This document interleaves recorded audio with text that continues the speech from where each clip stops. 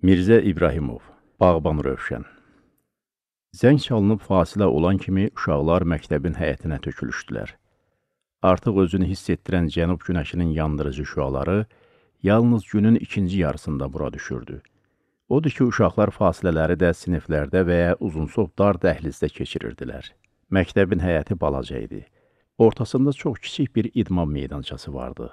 Meydançanın axırındakı tikan çəpər həyəti üç tərəfdən yaşıl qələmlərlə hasarlanmış bağçadan ayırırdı. Bu bağça və onun yanındakı iki hektarlıq yer məktəbin təcrübə sahəsi idi. Fasilədə uşaqlar hamısı idman meydançasına səpələnib oynadığı halda 13 yaşlı bəstəboy, qara buğdayı, iri, ala gözlü Rövşən hiss olunmadan bağçaya keçdi və ağacların arasında gözdən itdi. Yaz girəndən hər gün fasilələrdə Rövşən beləcə yox olur və zəng olanda özünü tənginəfəs sinifə salırdı. Hətta məktəbdə heç kəs olmayanda da axşamlar onu bağçaya girib çıxan görürdülər. Heç kəs bilmirdi ki, Rövşən bağçaya niyə xəlvətcə gedib gəlir, orada nə edir? Bu barədə yoldaşları sual verəndə qaşqabağını sallayırdı. Elə belə gedirəm, bağçada gəzmək xoşuma gəlir, deyib başdan eləyirdi. Rövşənin bu hərəkəti məktəbdə müxtəlif danışıqlara səbəb olmuşdu. Hətta bunu pis yerə yozanlar da vardı. Yəqin təzə tərxiyarlara gözü düşüb. Yox, alçıya meyil salıb, deyərək bəzi yoldaşları onu ələ salırdılar.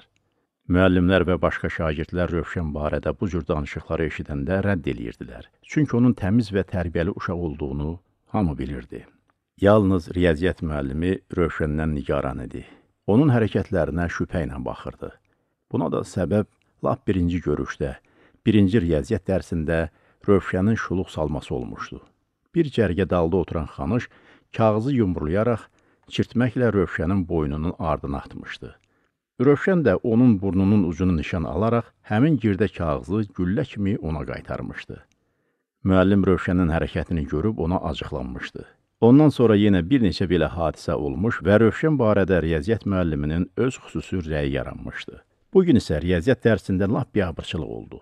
Müəllim xanışı lövhəyə çağırmışdı, məsələ vermişdi. Riyaziyyatı yaxşı bilən xanış çaşıb qalmışdı, həll eləyə bilmirdi. Uşaqlar himcimlə onu başa salmaq istəyən yerdə daha da çaşdırmışdılar. Bu zaman kimsə qapını taqqıldatdı. Müəllim gəl demək yerinə özü qapıya yollandı. Bundan istifadə edib Rövşən məsələnin həllini kağıza yazdı və lövhənin qabağına qaçdı.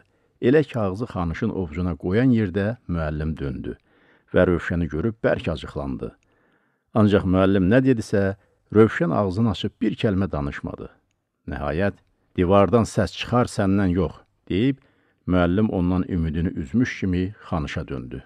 Ancaq əslində müəllimin bütün fikri Rövşəndə idi. Axı bu uşaq niyə belə eləyir, deyib düşünürdü. Bu fikirlər nəticəsində müəllim Rövşənin sinifdəki hərəkətləri ilə fasilə zamanı bağçada itməsi arasında bir əlaqə olduğuna qərar vermiş və onu izləməyi nəzərdə tutmuşdu. Bütün bunlardan xəbərsiz olan Rövşən Qələmlərin altından keçib bağçanın sıx yerinə girdi. Hərdən qalın budaqların arasından fəzanın bir parçası ya da uzaq kəndlər, taxıl, pambıq zəmiləri görünürdü. İlin bu fəslində, yəni may ayının ortasında bütün Şirvan düzü yaşıllıq içərisində itir. Bağçadakı alça, armud, alma, ərik ağacları çoxdan güldən düşmüşdü. Onların qalın yarpaqlarının arasından iriləşməkdə olan göy meynələr seçilməyə başlayırdı. Nar ağacları isə hələ gül açmamışdılar. Rövşən onlara baxıb düşünürdü. Təbiət nə qədər gözəldir. Necə də hər şey öz vaxtında əmələ gəlib yetişir. Alça qurtarmamış tut çıxır. Sonra da bir-birinin ardınca gilas, gilanar, qaysı, armud, üzüm və alma dəyib şirinləşir. Təbiət çox gözəldir. Bizim torpaq çox mehriban, səxavətli və sevimlidir. Rövşən ağacların görkəmindən, ətrindən, yarpaqların pıçıltısından doymurdu. Bütün bunlar sanki dilə gəlib onunla danışır, ona həyatın gözəllikləri və hikmətləri haqqında pıçıldayırdılar. Rövşən hiss eləyirdi ki, bu canlı, lakin dilsiz aləm başqa aləmdir. Şeirlə, musiqi ilə, sirlərlə dolu aləmdir. Hər gün onu bura çəkən də bu qəribə aləmin sirlərindən birini açmaq həvəsi idi. Ağaclarla danışa-danışa, onların ətirli nəfəsi ilə nəfəs ala-ala irəliləyərək Gəlib lap əldən ayaqdan kənar bir güşədə dayandı. Burada nar ağacları o qədər sıxlaşıb bir-birinə suvanmışdı ki, əyilib iki qat olmadan o tərəfə keçmək mümkün deyildi. Rövşən belə də elədi. Narların arasındakı açıqlığa keçdi və yamyaşıl otların altında həzin şırıltısı kəsilməyən arxın qırağında durdu. Ora bastırılmış, hündürlüyü bir metrə qədər olan nazik, balaca çubuğu diqqətlə gözdən keçirməyə başladı. Çubuqda tumurcuqlar əmələ gəlmişdi. Hətta aşağı gözlərdə yarpaq açılmağa başladığını görəndə sevincindən öz-özünə "Yaşa, var ol!" dedi. Elə bu zaman narların dalından başqa bir səs eşidildi. "Nə olub, Rövşən? Kiminlə danışırsan?" Rövşən riyaziyyat müəllimini səsindən tanıdı və qaşqabağını salladı. Bu qədər əziz tutduğu bir sirri ona inanmayan bir adama açmaq istəmirdi. "Niyə danışmırsan? Səninləyəm." deyib müəllim narları araladı və bu tərəfə keçməyə çalışdı. Ay Həbib müəllim, tələsmə, gözlə bir yerdə keçək, deyə başqa bir səs riyaziyyat müəllimini dayanmağa məcbur elədi. Bu, təbiət müəllimi sahib müəllim idi. Rövşən sevindi. Müəllim, gəlin bir görün, mən deyəndir, alça çubuğunu da cücərtmək olar, deyib qışqırdı. Müəllimlər ikisi də bu tərəfə keçdi. Təbiət müəllimi Rövşənin göstərdiyi çubuğa diqqətlə nəzər saldı. Onun cücərdiyini görüb tikəldi.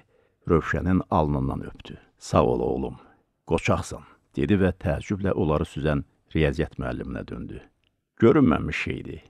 Meynə rişəsi sadəcə çubuq vasitəsilə artırıla bilər, alça isə yox. Qışda Rövşənlə bu barədə mübahisəmiz oldu. O, bu alça çubuğunu cücərtməklə bitkilər dünyasında yeni təcrübələrə hüdud olmadığını sübut eləmişdi. Sağ ol, oğlum, bundan sonra bağban olacaqsan. Bağban Rövşən. Riyaziyyat müəllimi də sevinclə Rövşənə baxıb gülümsəyirdi.